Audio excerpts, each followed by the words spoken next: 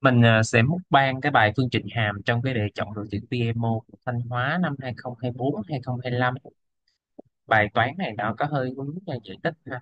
Mình sẽ sử dụng công cụ giải tích để xử lý cái bài toán cái phương trình hàm này. Thì ờ, ở đây người ta xem xét những cái hàm số f có đạo hàm trên tập số thật và thỏa mãn phương trình này. À, f tại fx bằng fx với mỗi trục tập số thật thì khi đó chúng ta sẽ có được f là hàm hằng hoặc là f là anh xà đồng nhất tức là f tại x bằng x với mỗi trục tập số thật và người ta hỏi thêm là khi thay cái ờ, giả thiết uh, f có đạo hàm trên tập số thật uh, ờ, thành f liên tục trên tập số thật thì cái điều mà chúng ta kết luận còn đúng hay không?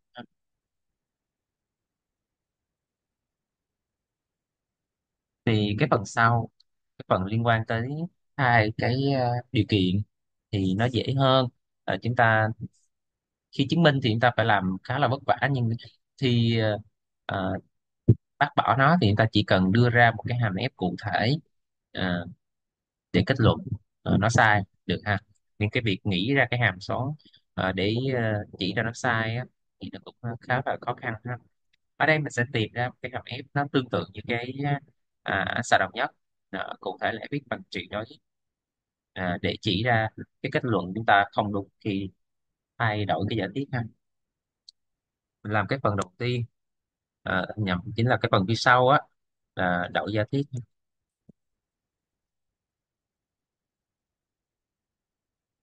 thì chúng ta thấy được rằng cái kết luận không còn đúng. Cụ thể mình xét cái hàm số f. À, biết nè, hàm số ha, số f bằng trị đấy thì chúng ta thấy được rằng f liên tục trên ờ, uh, tập số thật. Tức là f liên tục tại mọi điểm thuộc tập số thật.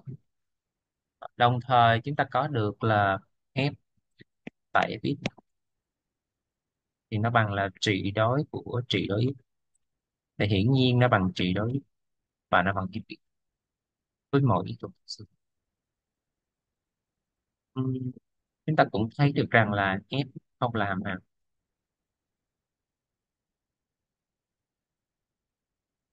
và f không ừ, phải là xà đồng nhất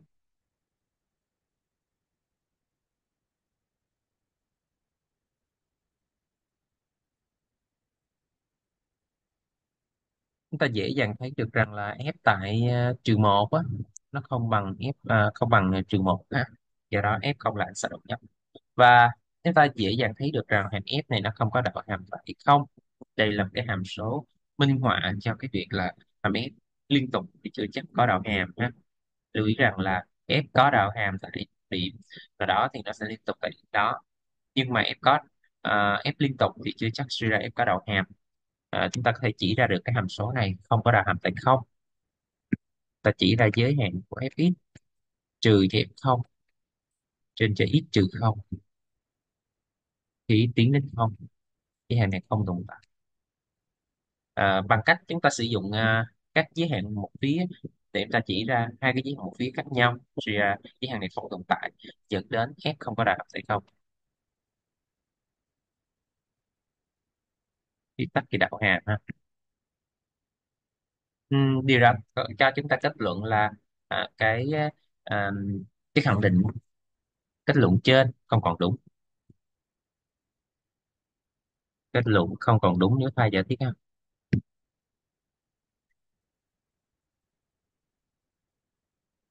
Bây giờ mình sẽ xử lý cái phần ờ, uh, tạo phần còn lại ha.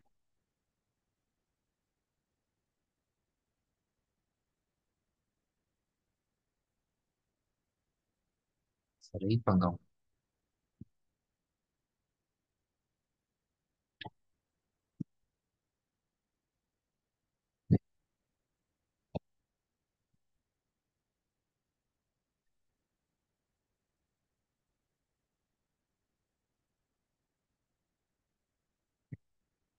máy nó hơi cập nhật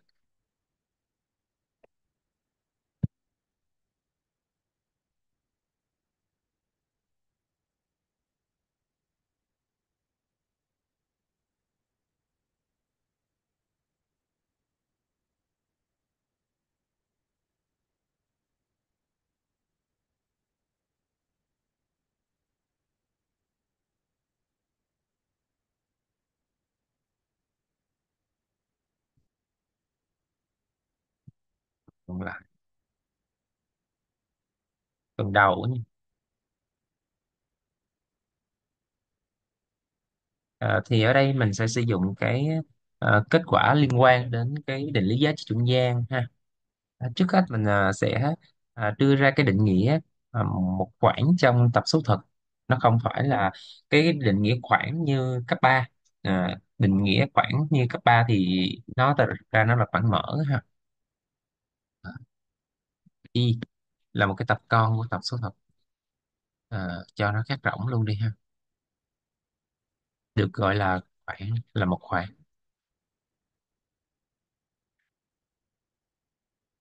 Nếu mỗi y thuộc vào tập y à, sao cho ít nhỏ hơn bằng y? Thì lúc đó mỗi z thuộc tập số thực sao cho ít nhỏ bằng z z nhỏ bằng y. Thì chúng ta sẽ dẫn đến z cũng thuộc vào tập y hoa Đó. đây là định nghĩa một khoảng ha. Tức là bất kỳ uh, cái số thật nào nằm giữa hai cái điểm thuộc cái khoảng y này thì nó cũng phải thuộc khoảng y. À, thì chúng ta có một số cái khoảng đặc biệt trong cái tập số thật ha. À, khoảng mở nè.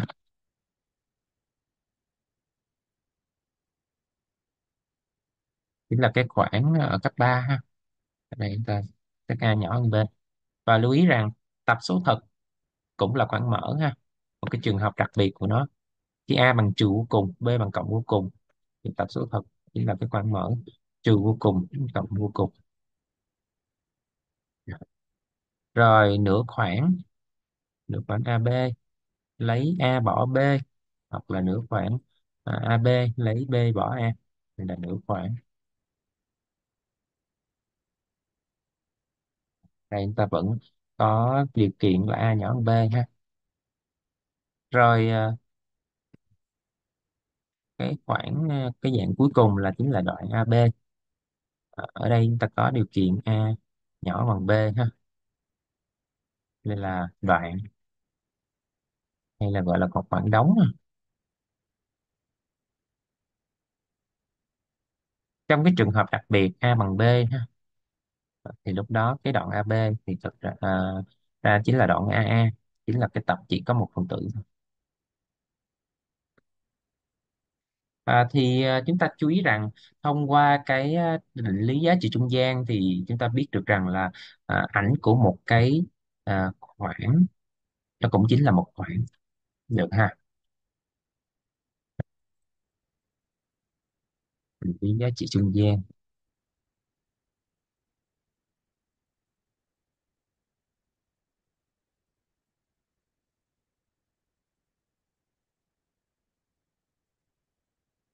À, từ một cái khoảng y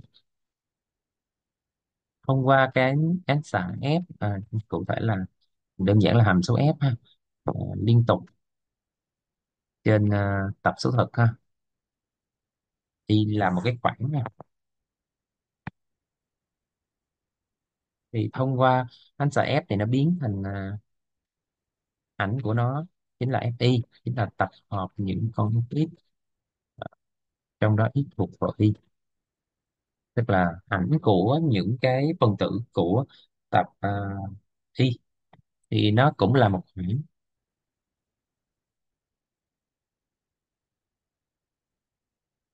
khoảng chúng ta sẽ sử dụng cái kết quả này để chúng ta giải quyết bài toán bên dưới. Thì à, à chúng ta sẽ xem xét ảnh của cái à, à, tập y à, tập của tập số thật ha à, tức là tập giá trị của hàm f á à, nó rơi vào các cái trường hợp bên trên lưu ý rằng a b có thể bằng cộng hay trừ vô cùng ha a bằng trừ vô cùng hoặc b bằng cộng vô cùng nha thì à, từ cái giả thiết trên thì ta sẽ suy ra được điều sau vì f tác động vào fx này. bằng fx này. với mọi ý thuộc hàm số thực này. À, nên chúng ta có được là f tại x ờ, thì bằng x. Với mọi x thuộc vào à, miền giá trị của hàm f. Là f tác động vào tập số thật ha. À, thì nếu như cái à, cái tập hợp này nó là à, một số cái nó rơi vào các trường hợp tầm thường như là nó bằng đúng tập số thực hoặc là bằng à, là một cái tập có đúng một phần tử thì lúc đó cái việc à, chúng ta sẽ có cái kết luận này trở nên đơn giản ha.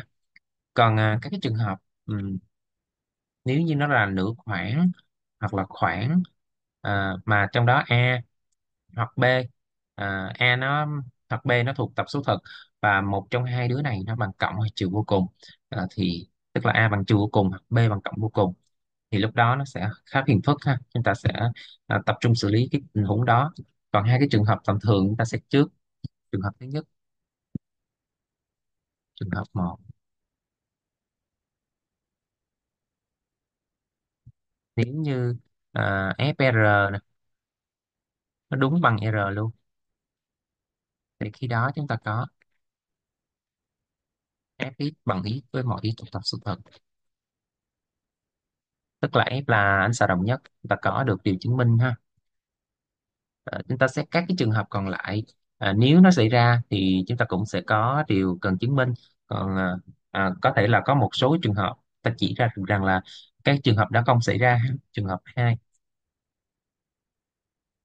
F à, R chỉ có một phần tử.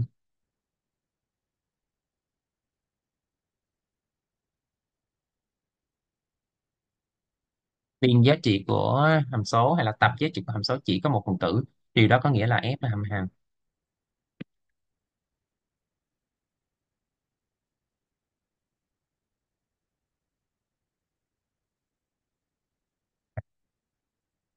ta xét cái trường hợp thứ hai ờ, nhầm trường hợp thứ ba. Để mình ờ, suy nghĩ một chút xíu xem mình có cần chia thêm cái trường hợp nhỏ hay không ha. F R. Ờ, nó rơi vào các cái trường hợp sau nó bằng là khoảng AB hoặc là nửa khoảng AB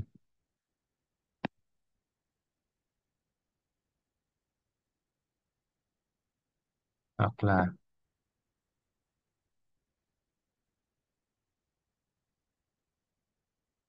ờ, đoạn AB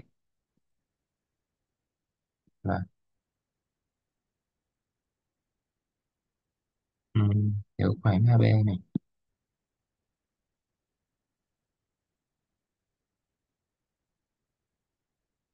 Chúng ta có thể phân làm à, thành hai trường hợp ha. Nhớ rằng là ở đây không thể là Ừ, A và B ờ, đồng thời bằng ờ, A bằng trừ vô cùng và B bằng cộng cùng ha. Nếu cái tình huống đó xảy ra thì nó rơi vào cái trường hợp thứ nhất rồi. Với A khác trừ vô cùng hoặc B khác cộng vô cùng.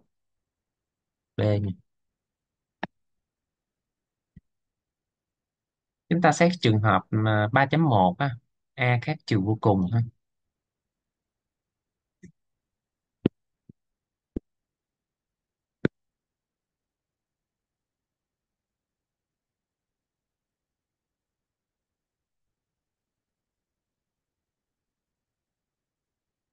Thì lúc đó chúng ta sẽ suy ra được là ờ, FR chắc chắn nó chứa một cái khoảng ờ, uh, AB này dạ. Ờ, với B lớn A nha. Thì tức là mình đang xét trong trường hợp mà những cái tình huống này tức là F uh, R ờ, thì nó bằng đoạn AB này. Ờ, hoặc nửa khoảng AB này. Có thể lấy đầu mút hoặc là bỏ đầu mút luôn ha nửa khoảng nha. Hoặc là đó là khoảng A B này.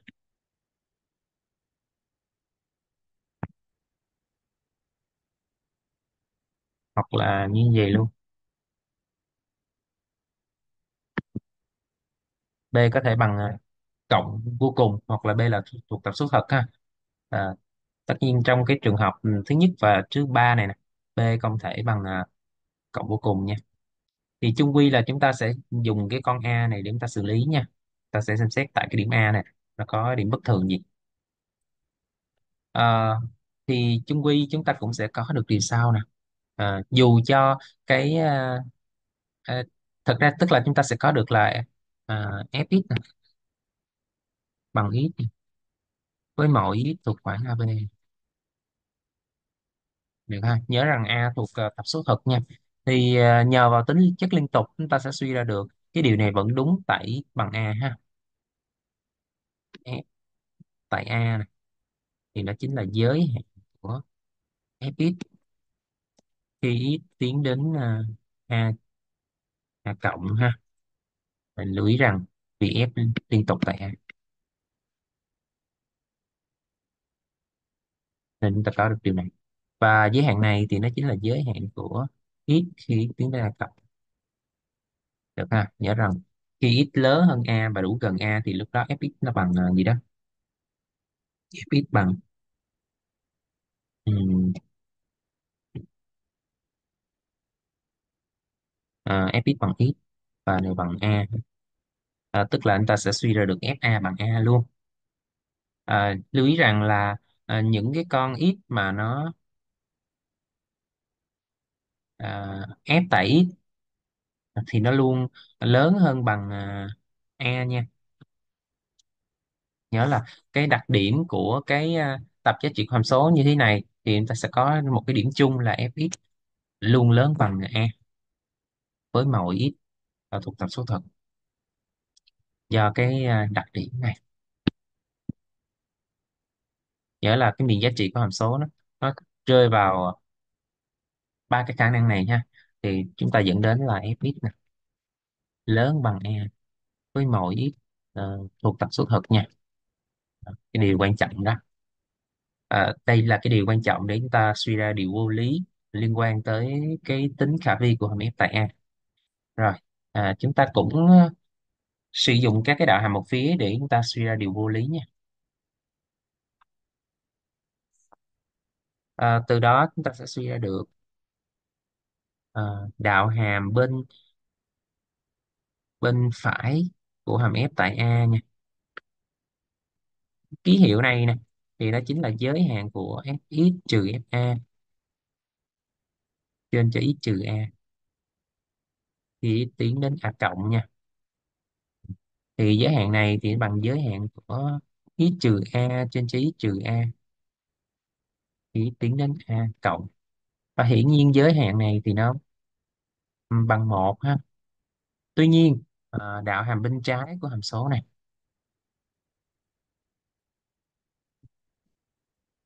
Tại a nha. Nó chính là giới hạn của fx trừ cho a, trên cho x trừ a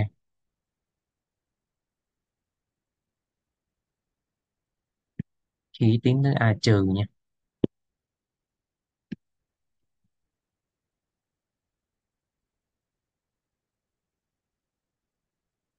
Nó hơi bất ổn.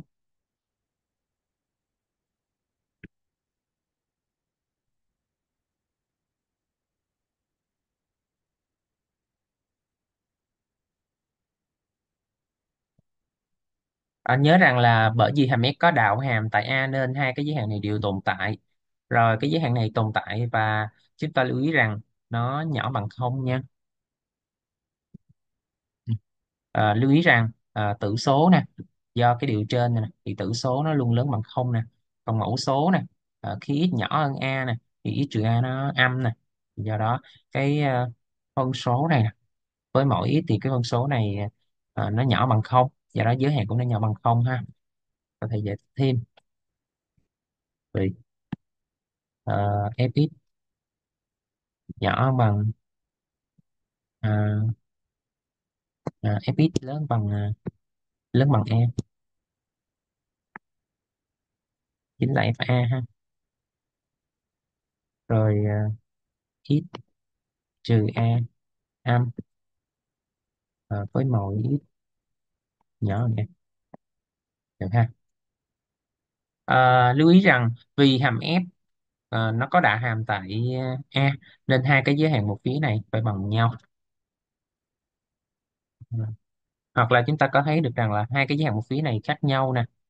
Bởi vì một con thì nó bằng một một con thì nhỏ bằng không. Suy ra hàm F không có đạo hàm tại A. Vì đổi màu lại nha.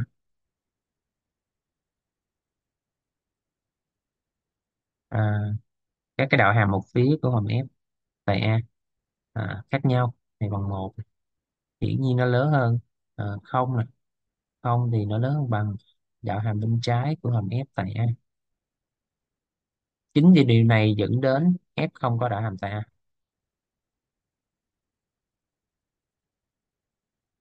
Đây là điều vô lý ha. Điều vô lý này dẫn đến cái trường hợp à, 3.1 này không xảy ra.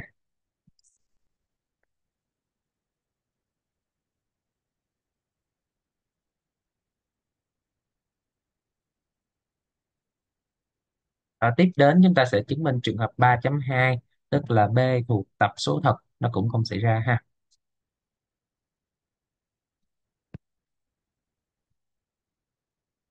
Trường hợp 3.2 B thuộc tập số thật ha B các cộng vô cùng đó. Rồi nghĩa là ừ, A lớn hơn ờ, B lớn hơn A nha. B ờ, B khác cộng vô cùng tức là B thuộc tập số thật đó. À, thì chứng minh tương tự à, không xảy ra.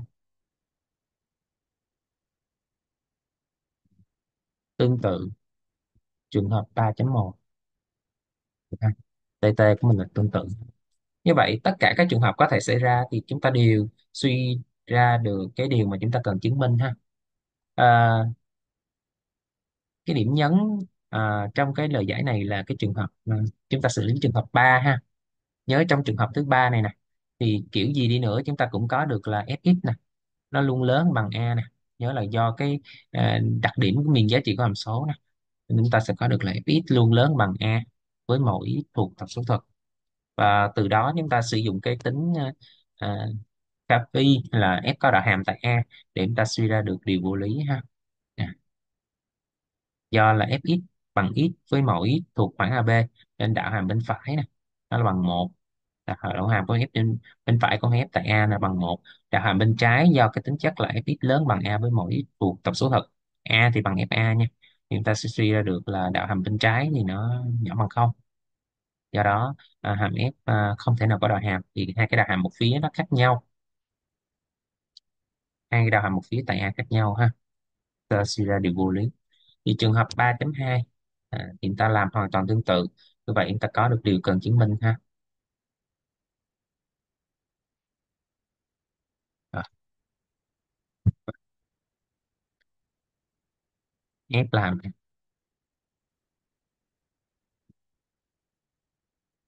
hoặc là ánh xà đồng nhất.